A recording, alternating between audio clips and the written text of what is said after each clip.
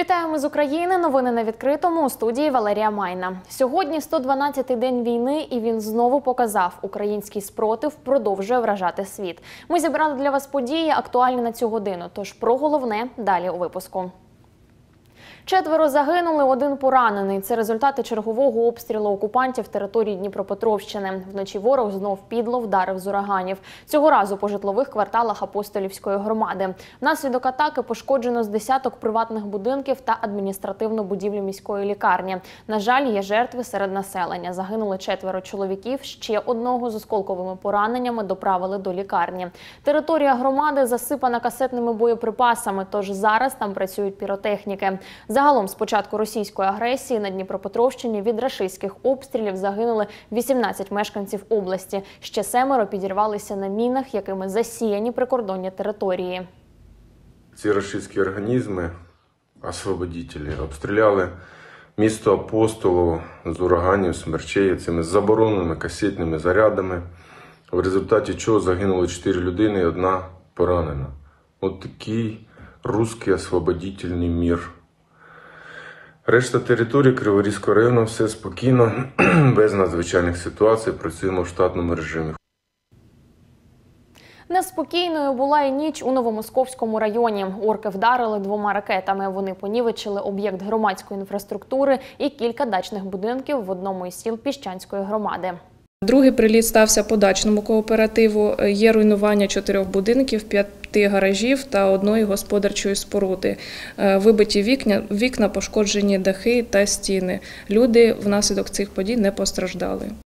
З 24 лютого рашисти випустили по нашій області понад 160 ракет. Через ці обстріли у прикордонних громадах загалом пошкоджено та зруйновано понад 200 будинків та чимало об'єктів цивільної інфраструктури. Більшість у Криворізькому та Синельниківському районах, що межують із зоною активних бойових дій. Завдану шкоду російськими окупантами тепер фіксувати легше. На засіданні уряд затвердив для цього єдину та уніфіковану форму. Раніше така довідка складалась у довільній формі. Тепер у кожного громадянина, якому пошкодили чи зруйнували житло, буде цифровий документ, який підтверджуватиме збитки. Це рішення бази для майбутнього реєстру пошкодженого майна. Будуть створені регіональні комісії на рівні громад. Кожна комісія складатиметься з трьох людей, які заповнюють акт з інформацією про тип пошкодження. Чи ушкоджений фундамент, фасад, стіни, вікна, підлога, двері чи інші конструкції. Все це фіксується і підтверджується цифровими підписами членів комісії. Всі нові акти будуть складені у цифровій формі через систему Дія. Всі попередні акти будуть відцифровані та внесені у відповідну базу. МВС України закликало українців не здавати вибухонебезпечні предмети на металобрухт. У відомстві нагадали, такі дії неприпустимі, небезпечні та караються законом. Під час польових робіт є чимало випадків загибелі чи травмування від вибухонебезпечних предметів. Здебільшого таке стається на Київщині та Чернігівщині. У МВС закликають відвідувати тільки ті місця, які точно перевірили піротехніки, не підходити до вибухонебезпечних предметів і не торкатися їх. У разі виявлення необхідно негайно телефонувати 101, 102 або використовувати застосунок розмінування України чи інтерактивний сервіс Протимінна діяльність ДСНС України. Станом на 10 червня піротехніки розмінували вже 370 населених пунктів України. Кількість документів зменшили, процедуру максимально спростили. Це про вступ до вишів МВС. Загалом їх 12, один з них у Дніпрі, університет внутрішніх справ. У закладах набирають майбутніх нацгвардійців, поліцейських, рятувальників та прикордонників. У МВС кажуть, зараз вони на піку популярності, бо саме ці люди сьогодні щохвилини наближають нашу перемогу та 24 на 7 стоять на сторожі безпеки українців. Зазначимо, заявку на вступ та всі документи можна подати онлайн. Мультипредметний тест не обов'язковий. Абітурієнтам достатньо скласти усний іспит у навчальному закладі, також в обраному виші пройти медкомісію та скласти фізичні нормативи. Діти загиблих та поранених захисників України мають пільги. Привілеї при вступі до магістратури також мають чинні військові, рятувальники, поліціянти, атовці. Дедлайн подання документів 14 серпня. З 15 по 20 серпня вступні випробування, рейтингові списки оприлюднять 21 серпня.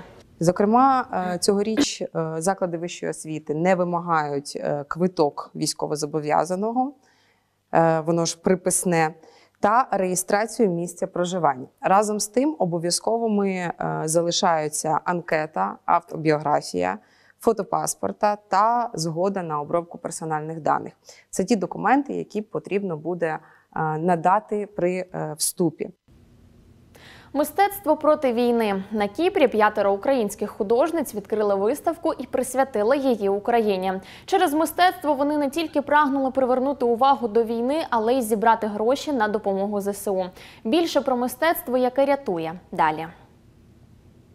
Рятувалися від війни, а тепер рятують інших. Українські художниці, котрі знайшли прихисток на Кіпрі, створили унікальну виставку, присвячену подіям на рідній землі. Ідея кричати про війну через картини виникла у Вікторії Величко, українки, яка вже 9 років живе на Кіпрі. Саме вона зібрала під одним дахом п'ять мисткинь та дала початок виставці Контекст.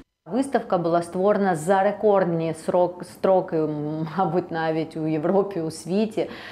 Бо це мультивиставка, п'ять е, художниць, котрі зібралися всі в одному місці і створили 65 робіт е, за рекордний строк е, менше, чим, менше, чим в один місяць.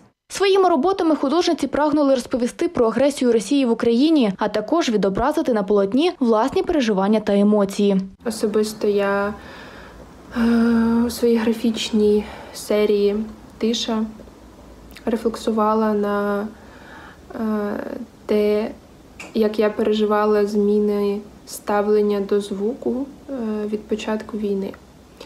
Е, Мабуть, всі знають, що на окупованих територіях не лунає повітряна тривога. Тобто ти одразу чуєш е, вибухи. На багатьох е, моїх роботах після війни є намальовані вушка де-інде. Однак головна мета виставки рятувати Україну мистецтвом. Мисткині продавали свої роботи і за декілька днів виставки зібрали чималу суму. Ми зібрали е, більше ніж 5500 євро е, тільки на благодійність. Це була частина нашого заробітку. І я вважаю, що наша виставка була дуже потужна і дуже успішна, тому що вона йшла тільки три дні. Але за вже перші два дні, е, завдяки нашим колекціонерам, ми зібрали, ми продали 45% е, всіх е, робіт. Ці гроші вже відправлені на допомогу Україні. Відтак, частина для ЗСУ, а частина для Запорізької лікарні, котра приймає та рятує поранених. Найкращим результатом проведеної виставки було те, як мене тішили продажі. І було зовсім неважливо, це продажі мої чи це продажі когось дівчат. Це була можливість допомогти матеріально, зробити якийсь реальний внесок, не просто словесний. Це перший проєкт українських художниць, представлений на Кіпрі. За три дні виставку відвідали пів тисячі людей. У планах благодійну роботу продовжувати. Уже наприкінці червня мисткині мають презентувати новий проєкт у столиці Кіпру Нікосії. А ще до Дня Незалежності України створити колекцію NFT робіт. Зібрані кошти на допомогу Україні. Дар'я Пшенична, Олексій Кікоть, Open News, телеканал відкритий. Ні війні кажуть і спортсмени. Війна Росії проти України забрала більш ніж 70 життів українських спортсменів та тренерів. Спортсмени Ерефії та Білорусі шукають можливість заявити про себе на міжнародній арені, виступаючи під нейтральним білим прапором. Натомість українські спортсмени готові блокувати їхні виступи та бойкотувати змагання. Таку заяву зробив міністр молоді та спорту України Вадим Гудсайт. Він зазначив, спортсмени країн-агресорок або мовчки згодні з убивством українців, або відкрито підтримують його. Водночас на турнірі з боксу в Угорщині 16-річна юніорка на п'єдесталі розгорнула прапор Азову. Діана Петренко з Черкас, яка посіла друге місце, висловила подяку легендарним азовцям. Вони до останнього захищали Маріуполь від російських окупантів і зараз разом з іншими воїнами з Азовсталі у ворожому полоні. Сподіваємось, ця звістка дійде до них. Вони зробили свою справу. Тепер ми маємо подбати про них. Тисячі людей долучилися до організації Жінки зі сталі, яка об'єднала рідних українських захисників. Щодня команда Жінки зі сталі збирає інформацію про полонених. 20 червня планують відкрити офіс у приміщенні центру Я Маріуполь. За інформацією ради дружин і матерів українських бійців, вони також готують до запуску акцію «100 листів світу. Їх надішлють впливовим іноземним організаціям та лідерам думок, аби вони допомогли, щоб до українських військовополонених застосовувалися норми Женевської конвенції. З'явиться і лінія юридичної допомоги, де адвокат відповідатиме на важливі запитання, говорять у громадській організації. На цьому в мене все. Більше новин читайте на нашому сайті та в соцмережах. Сюжети на Ютуб. Продовжуємо допомагати нашим захисникам щодня наближаючи найочікуваніший день день перемоги над рашизмом. Ми мужня країна, Україна.